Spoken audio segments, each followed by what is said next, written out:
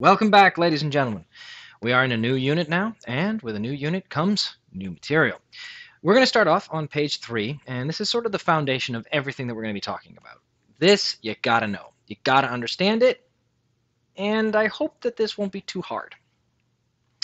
We're going to be talking about the mole, spelt exactly the same as the animal, although I believe it has no relation. Although there are an awful lot of internet jokes that would tell you otherwise. So the mole is a very important idea in chemistry. Up until now, when we've been talking about chemistry, we talk about things in terms of individual atoms, right? Like I will show you and say, this is the chemical formula for water. And if I were to draw it, it would look something like this right? And I, I show you this in the sense that there is one oxygen and two hydrogen, and this balances in some way to make something. And maybe if I want to be very fancy, I might show it as a balanced chemical equation, like so. But in this context, we're dealing with like two molecules of water, two molecules of hydrogen and one molecule of oxygen. We're dealing with incredibly small amounts of things, which is good for the purposes of understanding things, but it's not helpful for the purposes of reality. Because, fun fact, you have way more than two molecules of water in you. You have literally trillions upon trillions. There is probably more water in you than there is sand on the beaches in terms of particles. So while this is useful for us to understand things, it's not useful for us to describe anything that physically exists. This is a problem because chemists are in the business of describing things that physically exist. They're in the business of studying matter. They want to understand stuff. So we needed a system in order to do that. And Generally speaking, we want to always come up with a system that is something we already know how to do, but we just like tweak it a bit. So, the mole was invented, and really roughly, really roughly, the mole basically serves the same purpose in chemistry as, say, a dozen serves in baking or English. A dozen you guys know what a dozen is, of course, right? Like if I put the word dozen here and I ask you to go get me three dozen of something, you hopefully know that I'm not asking you to get some weird, I don't know, sleepy kind of thing, doze. That's not what I'm asking for. I'm asking for you to get some multiple of 12. Similar, if I tell you we need a pair Go get me six pairs of gloves. Well, you probably know that a pair is two. You also probably know stuff like, say, a trio is going to be three. You probably don't know, see if I remember how to spell the word.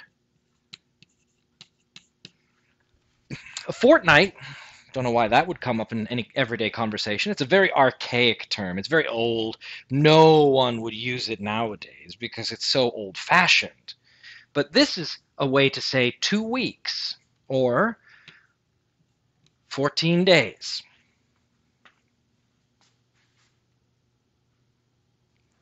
Who knew? One of the most popular games on earth right now is called Two Weeks. On top of that, Fortnite, we've got a couple others. There's also something called a score, which is another way to say 40. Wait, that one might be 20. Uh, I don't remember. I'll have to check. Anyway, these are words that mean numbers. A mole is also a word that means a number. It just means a very, very, very, very big number. Like difficult to picture big because the number is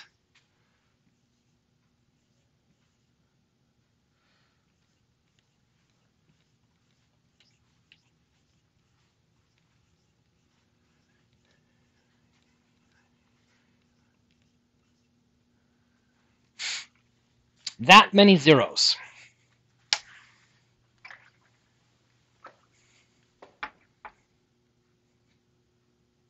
Yeah, it's a lot, I know. Why that number? Uh, that's a little harder to answer, but that's the number that chemists chose. And it's a very important number because we use it a lot in chemistry.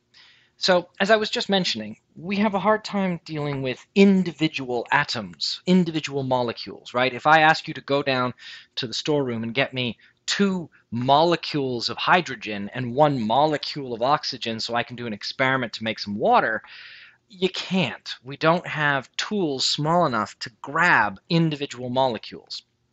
So what you're going to do is the equivalent of going to, say, a bulk barn or the grocery store aisle and just taking a big scoop and shoveling up a whole bunch of molecules and just dumping them into a bag for me, and then you'll bring me the bag. How many do you get in your scoop?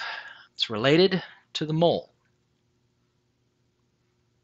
Roughly speaking, that's what the mole is. It is a number. And that is all. It is works in the same way as dozens, pairs, trios, fortnights, scores, and all the rest. Pretty sure score is 20 now. I think so, because 2 score would be 40 then. Pretty sure it's 20. I'm probably going to look it up directly after the video and be like, oh no, I got it wrong. It's almost as bad as that dodecahedron. All right, let's take a look at the notes here. There's some important things to say here, plus it'll remind me of a few other things I should mention. But the key thing to understand is that a mole is that, just like how a dozen is this. So, formulas and molecular mass deal with individual atoms and molecules. Chemists do not work with those amounts because we can't. We literally cannot do that. So, we needed a way in which to put all of this together. As a result, here's the thing, right? If I ask you to go down, much like with my bulk barn analogy, and I ask you go down and get me a bunch of hydrogen, you're going to show up, you get the big scoop out, you scoop it up, and you pour it in the bag. How do they choose how much to charge you?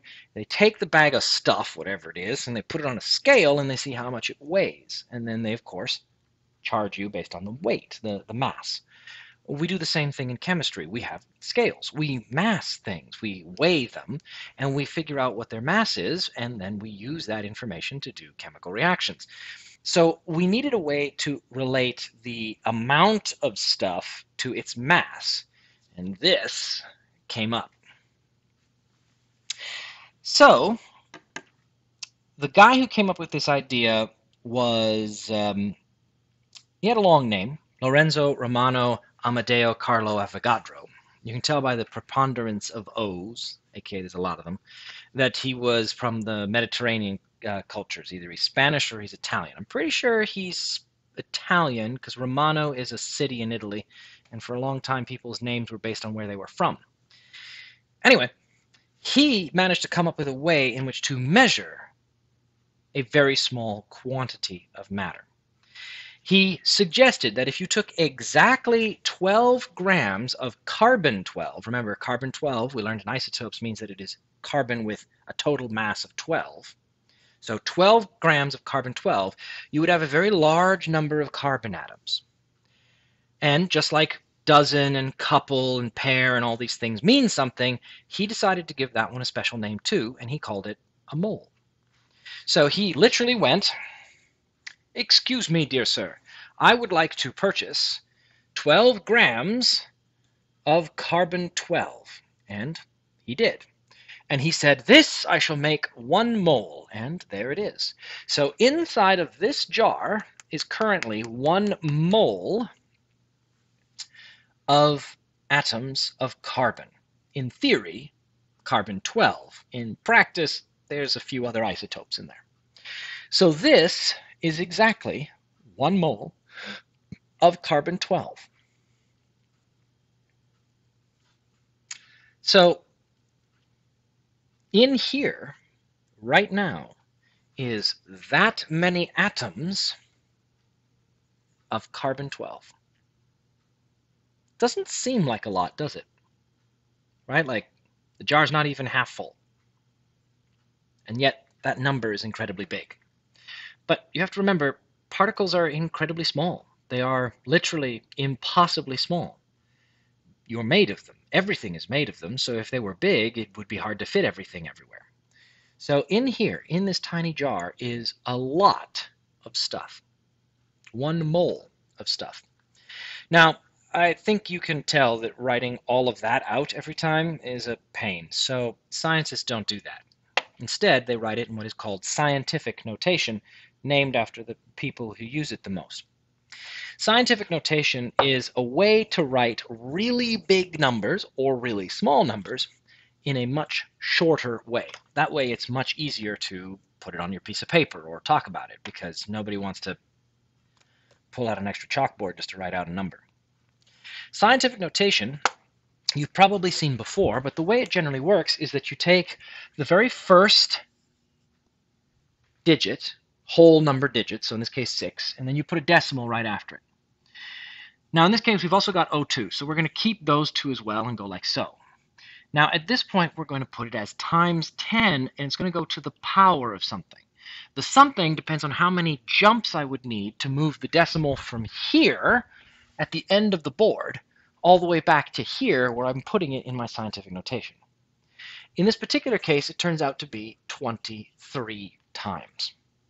There are 23 decimal movements in order to write that giant number up there. So this is called Avogadro's number because we named it after the guy. You know you've done a good job in science when we name something after you. Avogadro's number, Planck's constant, the Newton of force, the ohm of resistance, the watt of power, I think it's power, oh well, lots of people. The volt, that's another one that's named after a guy. His name was Volta. Anyway, so Avogadro's number is usually abbreviated or given the symbol of n. Sometimes we'll put a little a underneath to say that it's Avogadro's number so we don't get it confused with some other n, but n is usually what we use. And it is really critical for everything we do in chemistry. Really critical.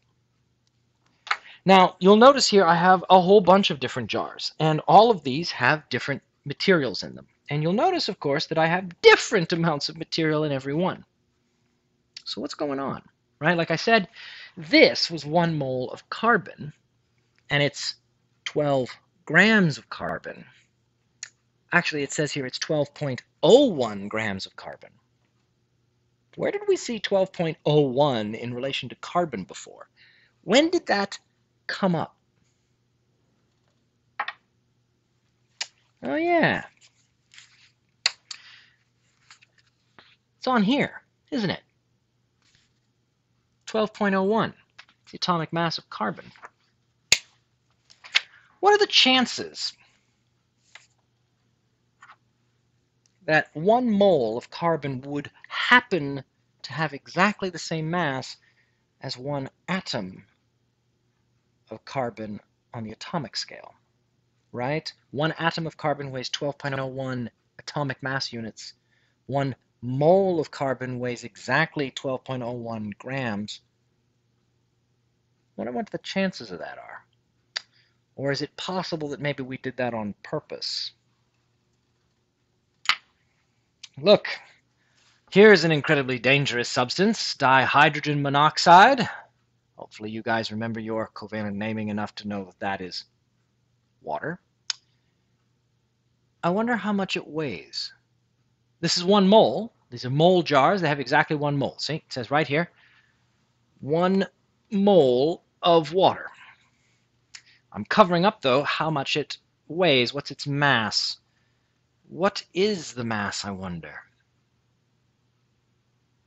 Carbon 12 has a mass of 12. Water What's the atomic mass of water? One atom of water, how much does it mass out? The shortest video ever that I did just yesterday, we said that water has a mass of 18.02. And this is 18.02. Every single jar here has some quantity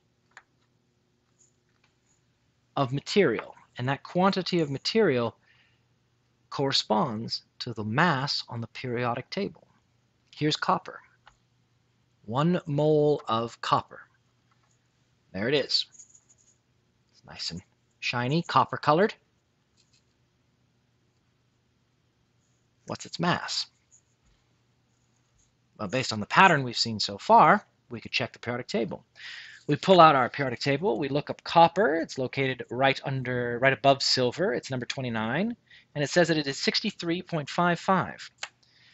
So what's the chances that this is 63.55?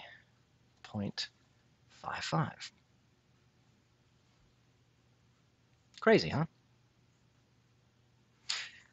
Again, this wasn't by chance. This was done on purpose. Avogadro was a smart guy, and he realized that there were definitely relationships, right? Obviously, one mole of something is just a lot of it, right? This is just a giant mountain of carbon. But he chose the mole to make sure that it lines up perfectly with the mass of those individual particles. Now, the exact method they did that is uh, a little complicated, especially since they did it during the 1800s, like before electricity, let alone computers. But because of their cleverness, we have a unit of measurement that perfectly mirrors on the subatomic level, on the particle level, I should say, and on the macro level, the level we can see. Now, it's not absolutely perfect. I'm not going to claim that this jar full of stuff with its 12.001 gram weight, that this is the literal same number as one atom of carbon. That's impossible. There's multiple atoms in here. But one of them would say grams, and the other one says atomic mass units, and they do the same thing. So, super simple. All of this is basically talked about on page 5. calcium. It's a lot. Why is it so much? Calcium is a little bit heavier than the others. So, you got to fill it up. The heavier the element, the more you need. Of course, you look at this and go, wait a second, but calcium and copper, calcium has more in it than copper does, and yet copper is heavier. What's going on? It comes down to density, something you may remember from grade 7. There's more particles in a smaller space for copper because copper is very dense. Calcium has fewer particles in the same space, which means I need to take up more room in order to have the same amount of stuff. Of course, this also means that, for example, if your uh, bones were made of copper instead of calcium, you would be shorter. All right, maybe not, actually. I just made that up. But it might be cool. Copper Man, I guess? I don't know. Everyone could be Wolverine. Anyway, Page 5, let's take a look. Avogadro related the number of particles to its mass. By definition, one mole of carbon has a mass of 12.001 grams. If the mass of one mole of any atom is the atomic mass in grams, then one mole in grams will be equal to its atomic mass. So aluminum is 27, as it says here. Silver is 107, and sodium is 23. And whenever you're trying to do anything, such as water, as we just saw when I pulled good old water right there out to show you, you just add all the pieces. So the masses on the periodic table are also the masses of moles of the quantity of the substance, you know, a giant mountain of it. And that's kind of it. That's sort of the key thing what's going on here the idea was we can't really work with one particle of water, but we can work with a handful of water, a mole of water. The mole turned out to be this incredibly huge number because Avogadro, being the smart guy that he is, pegged the mole by measuring something physically and then defining it from there. So, yeah, he could have made the number to be very organized. He could have said that it's like 10 but then if he did that, it wouldn't line up so perfectly when it comes to actually using it. So this is an example of a unit of measurement, a system of measurement that is perfectly aligned with what we needed to do. So what does this mean for all practical purposes? Well, it means that hypothetically speaking, I'm going to do something a little crazy here. If I ask you for one mole of water, how much mass will that be? Well, we just said one mole of water is 18.01 grams. So this will be 18.0, oops, 02 grams of water. There's our conversion thing coming in again. There's one 18.02 grams per mole. Another way to write that, if I weren't to put it in the conversion matrix, let's do it in another color here. We'll do it in red. 18.02 grams per mole, right? For one mole, that many grams. Okay, but now let's make it difficult. What happens if I said there are two moles of water?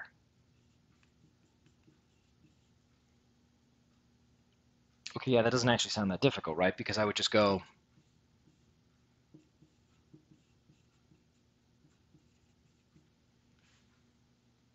eighteen times two.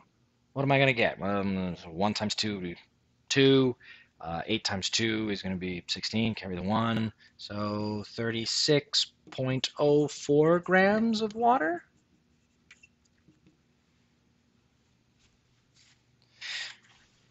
It's a way for us to relate things. And as we're going to see when we go further in this, it allows us to continue using all of our chemical balanced chemical equations to still do chemistry even though we're no longer working with individual particles but instead we're working with giant mountains of particles. But that's for later. I've already started to hint at the next thing.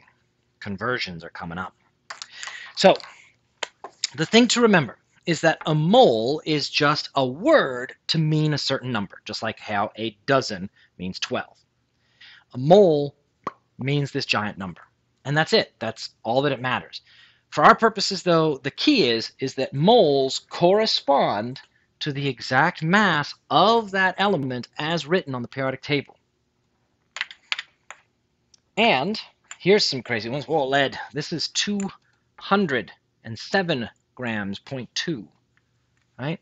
And again, it doesn't look like it takes up a lot of space because lead is, again, very dense. Most of the metals are, so this is very heavy. This is actually pretty weighty in my hands.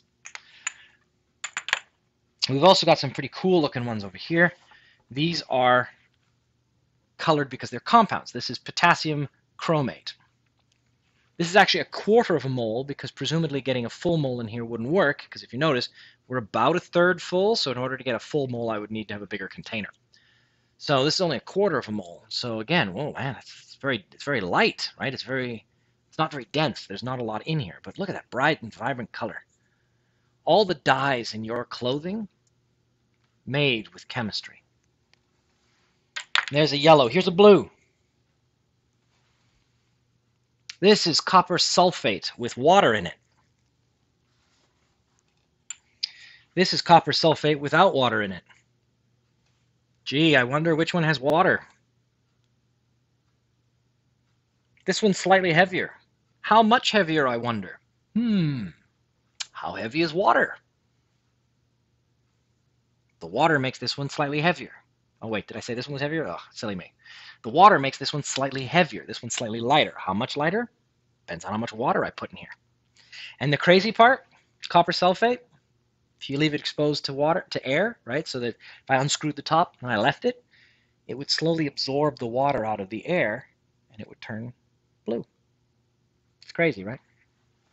This one we call anhydrous, by the way. An meaning not and hydrous meaning wet. So this is not wet, and this is hydrated. It's wet. Anyway, that's it. These are moles of substances. You guys now hopefully have a grasp on what a mole is. You guys can take a look on page six. There's a bit of practice around finding out the molar mass of different uh, molecules. And you just simply work through and figure how to do it. If you want to take a look at page seven, it basically is this conversions. But I'll talk about that in the next video in more detail. See you guys next time.